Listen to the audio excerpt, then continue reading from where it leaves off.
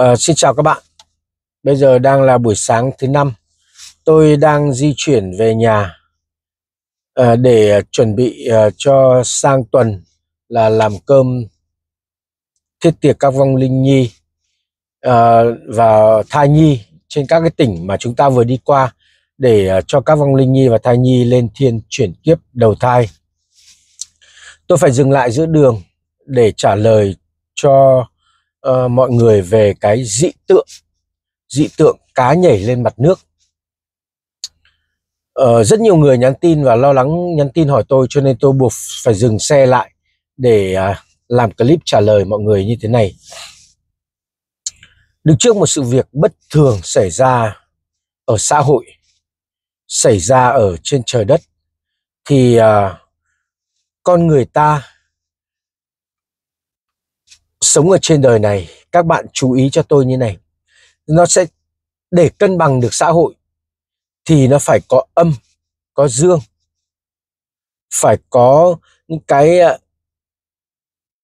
gọi là lập luận về khoa học cũng như là tâm linh. Hai cái này nó phải cân bằng nhau và không cái nào, chưa có cái nào có thể phủ quyết được cái nào. Ai là người ở trong góc độ nào thì sẽ có lập luận của góc độ đó.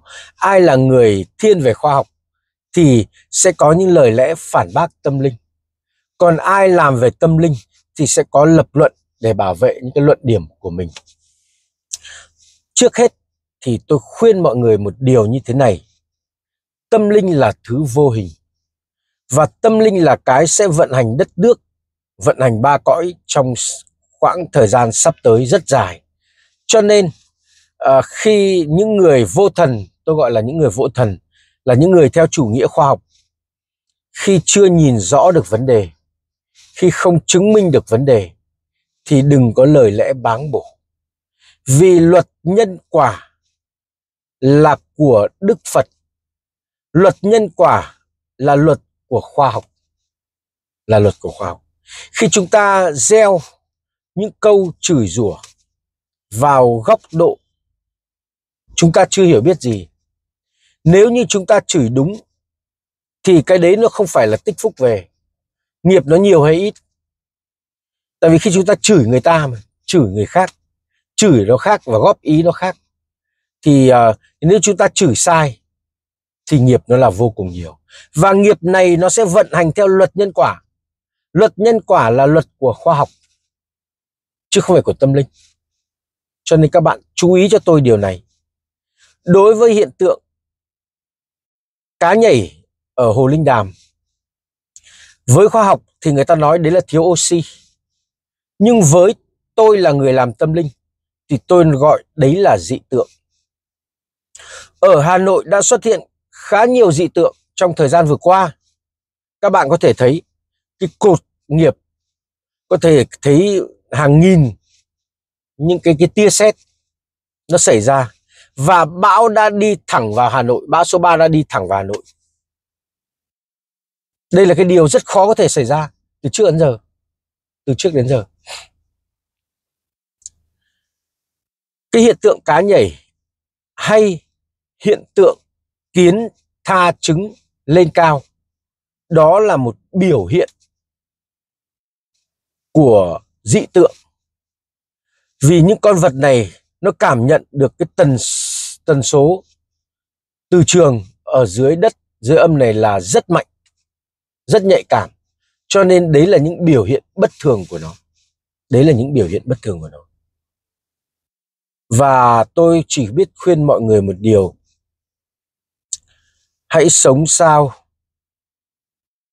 cho là người có trình độ, có tri thức, có nhìn nhận để khi chúng ta xuất ra bất cứ một lời nào đó, thì nên là những cái lời đó thu phúc về cho mình. Đừng để bị trừ những cái điểm phúc và tích cái điểm nghiệp vào đó. Là cái điều mà điều không nên. Tôi tôi phải tránh cái xe cho người ta đi. Và thưa các bạn,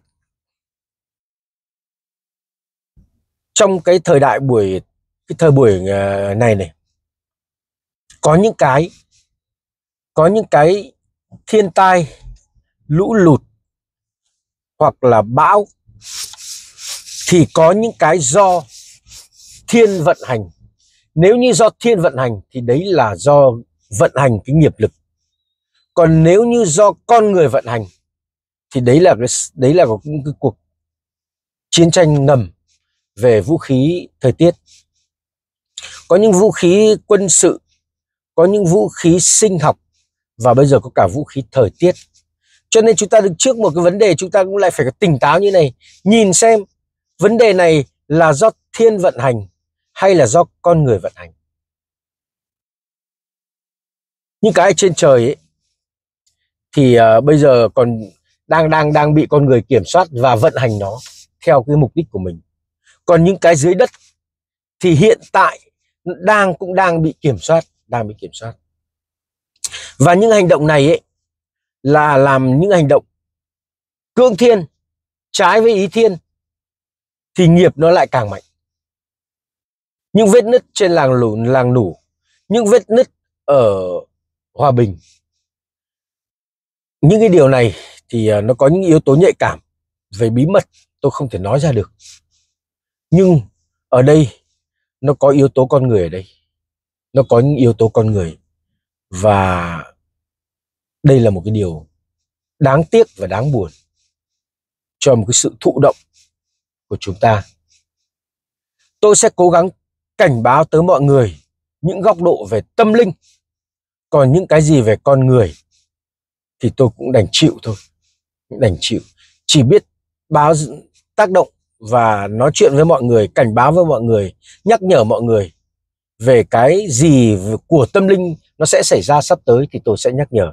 Và luôn luôn nhắc mọi người về ý thức, tích phúc, tích đức cho mình. Ý phúc, ý thức, tích phúc, tích đức cho mình. Hãy nhớ như thế. Còn bây giờ thì tôi là phải tiếp tục chặng hành trình của mình. Xin chào và hẹn gặp lại.